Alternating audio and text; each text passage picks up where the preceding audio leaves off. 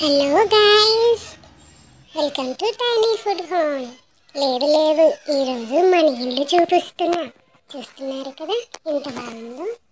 నేను ముందుగా ప్రిపేర్ చేసే ముందు మన ఇల్లుని అక్కడున్న ఇంగ్రీడియంట్స్ని బాగా చూసేయండి. ఈరోజు రెసిపీ అయితే సోంపాపిడి పొడి. నేనైతే సోంపాపిడి పొడినే చేస్తున్నాను. సోంపాపిడి మీకు పీసెస్గా కావాలంటే పీసెస్గా చేసుకోవచ్చు. కానీ నాకు పొడిలా అంటేనే ఇష్టం. అందుకని పొడిలా చేస్తున్నాను. ఫస్ట్ అయితే మీరు పెనం మీద సారీ సారీ పొయ్యి మీద కళాయి పెట్టి అందులో షుగర్ యాడ్ చేసి ఇలా పాకం మీకు ముదురు పాకం అయితే బాగా పీసెస్లా కట్ అవుతుంది. నాకైతే కొంచెం లేత ముదిరి పాకం కాకుండా లేత పాకంగానే చేసుకుంటున్నాను. చూస్తున్నారు కదా పంచదార ఇలా కరిగే వరకు పొయ్యి మీద వేడిగానే పెట్టాలి. సరేనా?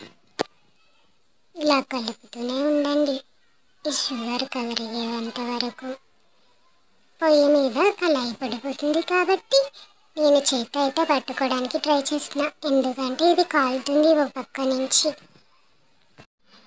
చూస్తున్నారు కదా పాకం దగ్గరగా అవుతుంది నేనైతే లేత పాకం తీసుకుంటున్నాను. మీరైతే పీసెస్గా కావాలంటే ముదురు పాకం బాగా చేయాలి. అప్పుడే మీకు సొంతాపుడి బాగుంటుంది.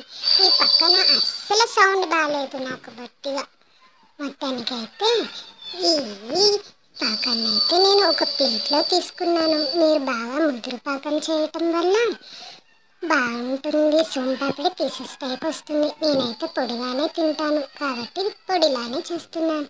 ఫస్ట్ అయితే ఆ పాకాన్ని ఒక ప్లేట్లోకి తీసుకున్న తర్వాత ఇంకో బౌల్లో ఉంచి కొంచెం నెయ్యి కానీ లేదంటే డాల్డా కానీ యాడ్ చేసుకోండి. నెయ్యి యాడ్ చేసుకోండి. మెయిన్ అయితే సరేనా? తరువాత మీ దగ్గర ఉన్న శనగపిండి తీసుకొని బాగా హీట్ మీద ఉంచి అటు ఇటు ఫ్రై చేయండి. తర్వాత మైదా కూడా యాడ్ చేయండి.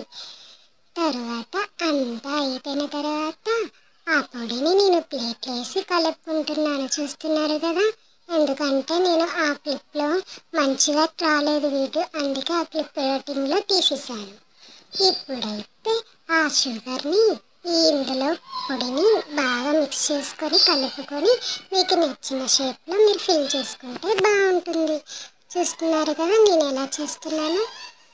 నాకైతే పొడి ఇష్టం కాబట్టి నేను ఇలానే ప్రిపేర్ చేసుకుంటున్నాను. తినటానికి కూడా చాలా